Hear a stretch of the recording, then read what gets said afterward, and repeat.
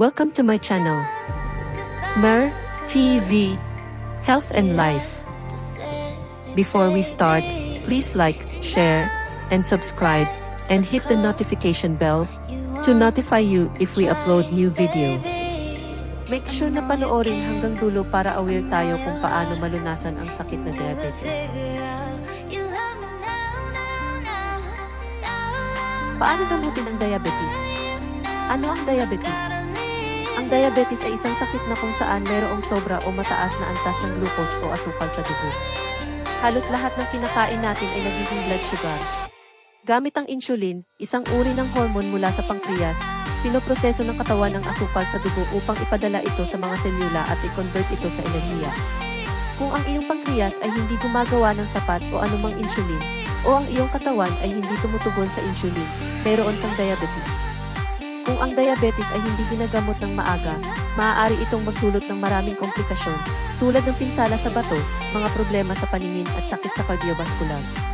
Ang mga taong may diabetes ay maaaring makaranas ng maraming sintomas, depende sa kung gaano kataas ang kanilang blood sugar. Tandaan din na sa mga pasyenteng may type 2 diabetes at prediabetes, isang kondisyon kung saan mataas ang asukal sa dugo ngunit hindi pa itinuturing na diabetes, ang mga sintomas ay hindi palaging nakikita o nararanasan. Ang ilan sa mga karaniwang sintomas ng diabetes ay ang mga sumusunod, mas madalas at matinding pagkauhaw, mas madalas silang nagugutom, madalas umihi, ang pagkakaroon ng mga keton sa init, bigla ang pagbaba ng timbang na walang alam na dahilan, mas mabilis na pagkapagod o mabilis magalit, lumalabo ang mata, mabagal na paggaling ng sugat, mga madalas na infeksyon. Kung nakakaranas ka ng isa o higit pa sa mga sintomas sa itaas, magpatingin sa iyong doktor para kumpirmahin kung mayroon kang diabetes. Meron ding uri ng diabetes na dulot ng ibang sakit. Halimbawa, pwedeng magka-diabetes ang isang taong mayroong cystic fibrosis. May tatlong uri ng diabetes, type 1, type 2, at gestational diabetes. Ang mga sintomas ng type 1 diabetes ay malubha at karaniwang mabilis na nagaganap. Karamihan ng taong may type 1 diabetes ay magkakaroon ng napakasamang pakiramdam dahil sa mga matataas na glucose level sa dugo. Ang type 1 diabetes ay isang kondisyon kung saan ang katawan ay hindi gumagawa ng sapat na insulin. Ang mga eksperto ay hindi sigurado kung ano mismo ang sanhi nito, ngunit ang ilan ay nagsasabi na ito ay isang autoimmune na reaksyon. Tinatayang 5 hanggang 10% ng lahat ng taong may diabetes ay may type 1. Ang type 1 diabetes ay madalas na nagsisimula sa pagkabata. Ang type 2 diabetes ay hindi bigla ang lumilitaw.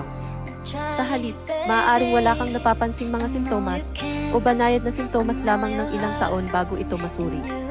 Ang type 2 diabetes ay isang uri ng diabetes kung saan ang katawan ay hindi gumagamit ng insulin ng maayos na nagiging sanhi ng pagtaas ng asukal sa dugo. Ito ang pinakakaraniwang uri ng diabetes dahil tinatayang nakakaapekto ito sa 95% ng mga taong may diabetes. Ang mga matatandang tao ay madalas na nasuri na may type 2 diabetes dahil ito ay nabubuo sa loob ng maraming taon. Gayunpaman, maraming mga bata at kabataan ang mayroon din ito. Gestational diabetes. Ito ay isang uri ng diabetes na nangyayari lamang sa mga buntis. Maaaring magkaroon ng gestational diabetes ang isang babae kahit na wala siyang diabetes bago manganak. Sa maraming mga kaso, ang gestational diabetes ay nalulutas kaagad pagkatapos ng panganganak kapag ang mga hormone ay bumalik sa normal. Mayroon ding uri ng diabetes na dulot ng iba pang sakit. Halimbawa, ang isang taong may cystic fibrosis ay maaaring magkaroon ng diabetes. Ayon sa mga siyentipiko at eksperto sa kalusugan, ang tunay na sanhi ng type 1 diabetes ay hindi pa rin malinaw. May mga pag-aaral na nagsasabing isa itong autoimmune disorder kung saan inaatake ng katawan ang mga sel na gumagawa ng insulin. Mayroon ding posibilidad na ang type 1 na diabetes ay genetic at posibleng namamana, ngunit higit pang pananaliksik ang kailangan. Tulad ng type 1 diabetes, hindi rin malinaw ang sanhi ng type 2 diabetes. Gayunpaman, naniniwala ang mga eksperto na ang genetika ng isang tao ay may papel sa pag-unlad ng type 2 diabetes. May kaugnayan din ang timbang ng isang tao sa type 2 diabetes, ngunit hindi lahat ng may ganitong sakit ay sobra sa timbang. Sa katunayan, may mga taong may type 2 diabetes na payat o kulang sa timbang. Samantala, ang gestational diabetes ay sanhi ng mga hormone na ginawa ng inunan. Ang mga hormone na ito ay mahalaga upang suportahan ang pagbubuntis.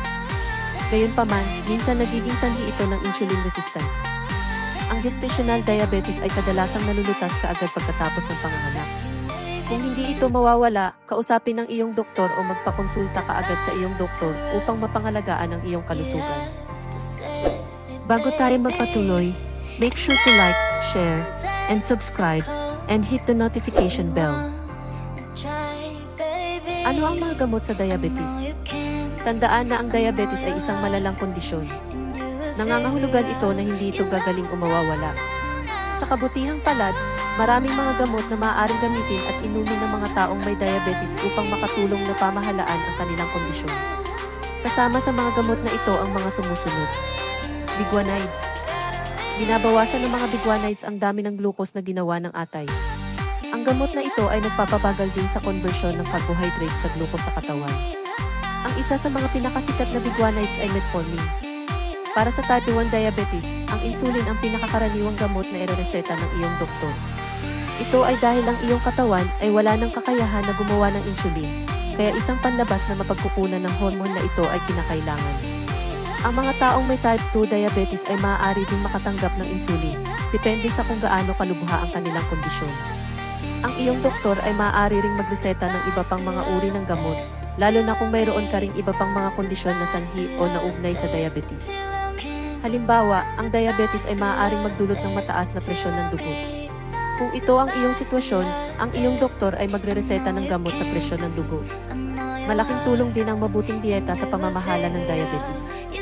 Walang partikular na dieta para sa mga diabetic, ngunit inirekomenda na kumain ng mga prutas, gulay, buong butil at walang taba na protina.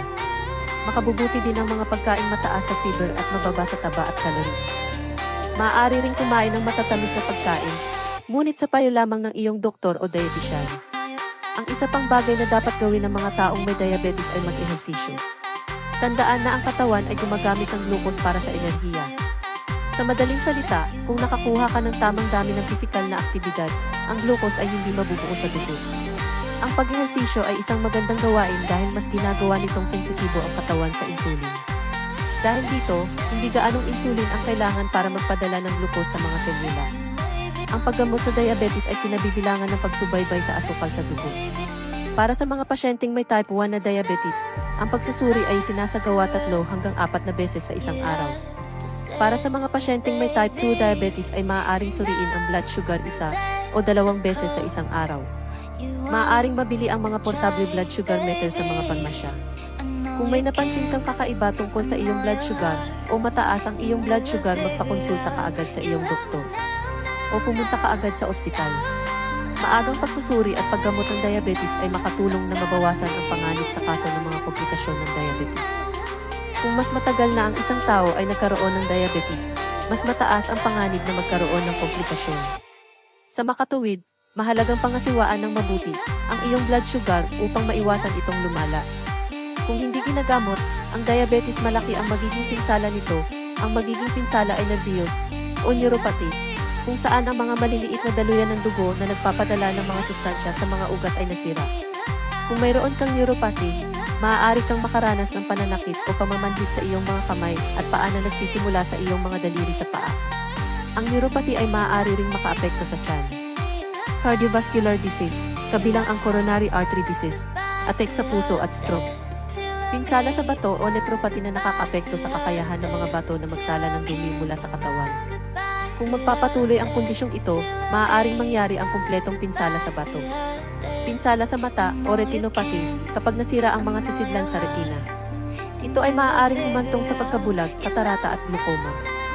Mga kondisyon ng balat tulad ng impeksyon sa pungal. Gangren, kung saan namamatay ang mga tissue ng katawan dahil sa hindi sapat na supply ng dugo. Alzheimer's disease. May mga pag-aaral na nagsasabing mas mataas ang panganib na magkaroon ng demensya kung hindi maayos na makontrol ang asukal sa dugo. Para sa mga babaeng buntis na may gestational diabetes, ang ilan sa mga posibleng komplikasyon ay ang mga sumusunod, macrosomia o sobrang paglaki ng bata.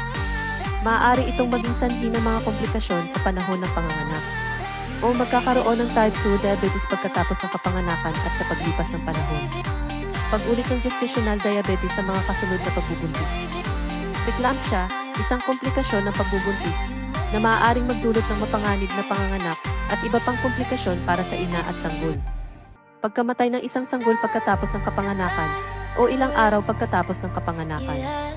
Upang maiwasan ang malubhang komplikasyon, magpakonsulta ka agad sa iyong doktor kung nakakaranas ng mga simptomas. Huwag baliwalain ang mga simptomas na nararamdaman upang maiwasan ang komplikasyon. Maingat na sundin ang payo ng doktor, lalo na tungkol sa pagkain at gamot.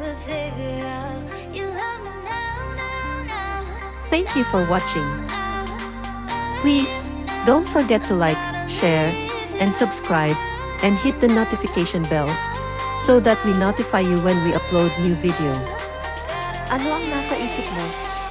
Huwag pumahiya na mag-comment sa ibaba.